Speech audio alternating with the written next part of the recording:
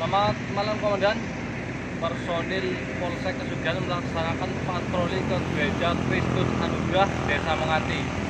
Untuk situasi aman terkendali dan tidak didapati tulisan, lambang maupun waduk yang bernada provokatif di Gereja Kristus Anugerah. Demikian komandan yang bisa kami laporkan dari Gereja Kristus Anugerah Desa Mengati. Terima kasih, selamat malam.